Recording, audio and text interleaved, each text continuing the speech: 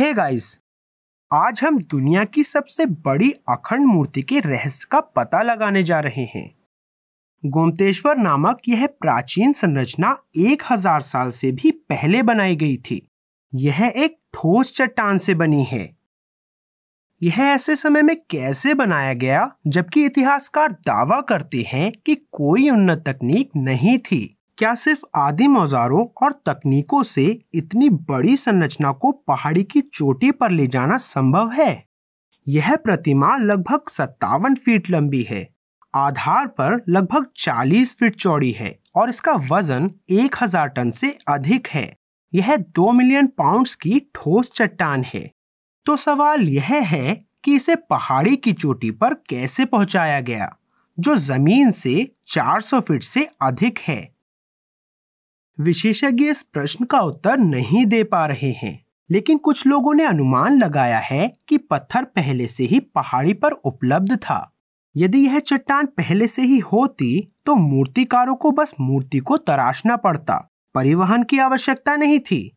क्या यह संभव है कि इस मूर्ति को तराशने से पहले यह चट्टान प्राकृतिक रूप से मौजूद थी? नहीं। विशेषज्ञ पुष्टि करते हैं कि यह मूर्ति सफ़ेद ग्रेनाइट से बनी है। एक ऐसी सामग्री जो पहाड़ी पर बाकी चट्टानों से अलग है।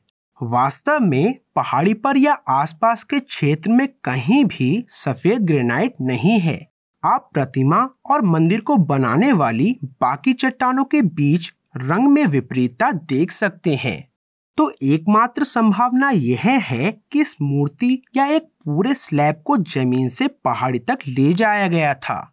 मान लीजिए कि उन्होंने मूर्ति को पहाड़ी तक पहुँचाया, न कि एक अधूरा स्लैब, क्योंकि ओरिजिनल चट्टान का वज़न खुदी हुई मूर्ति से लगभग दोगुना होगा।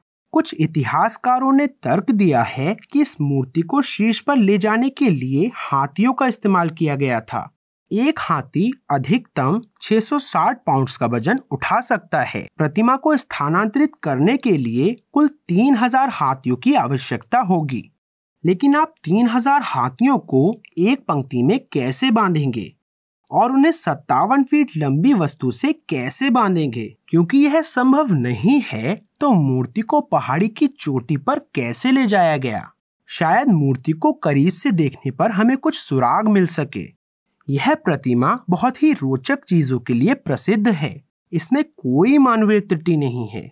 यदि आप बीच में रेखा खींचते हैं तो यह पूरी तरह से सिमेट्रिक है। ऊपर से नीचे तक सत्तावन फीट की पूरी ऊंचाई में क्या ऐसी समरूपता मशीनों की सहायता के बिना संभव है? हम जानते हैं कि भारत मूर्तियों की भूमि है और हम दुनिया के किसी भी देश की तुलना में लाखों अधिक अद्भुत नक्काशी पा सकते हैं। लेकिन यह मूर्ति अपने विशाल आकार के कारण काफ़ी अलग है। लेकिन फिर भी इस मूर्ति में हम छोटे से छोटे विवरण को भी देख सकते हैं। उदाहरण के लिए आप उसकी नाक और होठों के बीच इस खांचे को देख सकते हैं। सभी मनुष्यों के चेहरे की यह संरचना होती है, लेकिन फिर भी अधिकांश मूर्तियाँ इस विशेषता को नहीं दिखाती हैं। यहाँ तक कि स्टैचू ऑफ़ लिबर्टी में भी यह विशेषता नहीं है। लेकिन यह एक हज़ार साल पुरानी इस मूर्ति पर खुदी हुई है। ये विशेषताएँ नग्न आँखों को दिखाई नहीं देती हैं। वे केवल तभी दिखाई देती हैं जब आप अपने कैमरे से जूम इन करते हैं। यह वास्तव में कुछ असाधारण दिखाता है। ऐसी खरोच जो मूर्ति के चेहरे पर जानबूझकर खुदी हुई है।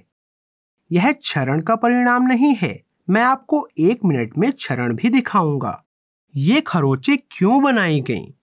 क्योंकि यह प्रतिमा बाहुबली का प्रतिनिधित्व करती है, एक राजकुमार, जिसने अपने ही भाई से लड़ाई की थी। प्राचीन ग्रंथों में उल्लेख है कि बाहुबली के अपने खड़े होने की मुद्रा में अपना ध्यान शुरू करने से ठीक पहले दोनों भाइयों ने आपस में युद्ध किया और घायल हो गए। प्राचीन बिल्डरों ने सबसे छोटा विवरण भी क्यों बनाया? हालाँकि इतिहासकारों का दावा है कि प्राचीन लोग इन सूक्ष्म विवरणों को अपनी नग्न आँखों से नहीं देख सकते थे। आँखों के कोनों पर मांस के छोटे छोटे धब्बे देखिए, ये आपको कहीं नहीं दिखेंगे। यह अत्यंत सूक्ष्म विवरण है, जिन्हें पूर्णता के लिए उकेरा गया है। यदि आप इस साइट पर जाते हैं तो इन पत्तों पर जूम इन करें। और आप देख सकते हैं कि कैसे इन पत्तियों पर नसों को अविश्वसनीय रूप से उकेरा गया है। क्या इस तरह के विवरणों को मानव हाथों से पूर्ण समरूपता में उकेरा जा सकता है? या प्राचीन निर्माता आधुनिक मनुष्यों की तरह नक्काशी के लिए मशीनों का उपयोग कर रहे थे? लेकिन सबसे दिलचस्प सुराग इस विशाल मूर्ति पर नहीं, बल्कि उनके पैरों के पास रखी इन दो छोटी मूर्तियों पर मिलता है। इन दोनों प्रतिमाओं के हाथों में कुछ बहुत ही अजीब है। वे आधुनिक समय की ड्रिलिंग और पॉलिशिंग उपकरण की तरह दिखते हैं। याद रखें, हमने होयसलेश्वरा मंदिर में यही उपकरण देखे हैं। उन मंदिरों में हम मशीनिंग तकनीक के ठोस प्रमाण देख सकते हैं। हम इन नक्काशियों को हमेशा रहस्यमय संरचनाओं के बगल में क्यों पाते हैं, जिन्हें पुरातत्वविदों द्वारा समझाया नहीं जा सकता? क्या ये सुराग प्राचीन बिल्डरों द्वारा छोड़े गए थे ताकि हम सच्चाई को समझ सकें?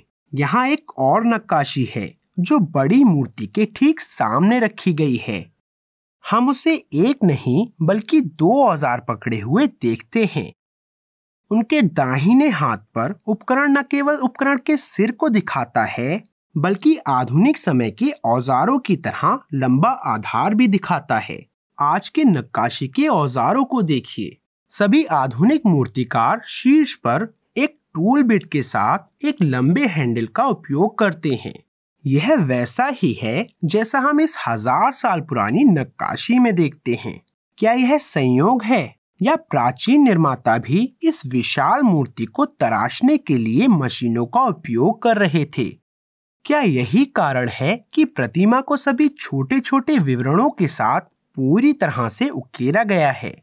लेकिन इस मूर्ति के बारे में कुछ और भी रहस्यमय है। समय के साथ सभी चट्टानों को कुछ नुकसान होता है। इससे बचा नहीं जा सकता है। लेकिन आप देख सकते हैं कि इस मूर्ति पर किसी भी तरह का क्षरण नहीं हुआ है। ऐसा लगता है जैसे इसे कल ही बनाया गया हो। यह वास्तव में आश्चर्यजनक है। क्योंकि पिछले हज़ार वर्षों से इस प्रतिमा का चेहरा हवा के लिए पूरी तरह से खुला है। आप कई मील दूर से मूर्ति का चेहरा देख सकते हैं, जो मंदिर की ऊंचाई से ऊपर दिखती है। लेकिन मूर्ति काफ़ी नहीं दिखती है और आप देख सकते हैं कि मंदिर का बाकी हिस्सा क्षतिग्रस्त हो गया है। यह कैसे हो सकता है? भारतीय बहुत अंधविश्वासी लोग हैं। और वे हर 12 साल में एक बार इकट्ठा होते हैं और इस मूर्ति पर तरह तरह की चीज़ें डालते हैं, जिसमें गन्ने का रस, केसर का पेस्ट, दूध, चंदन पाउडर और अन्य अजीबो गरीब चीज़ें शामिल हैं।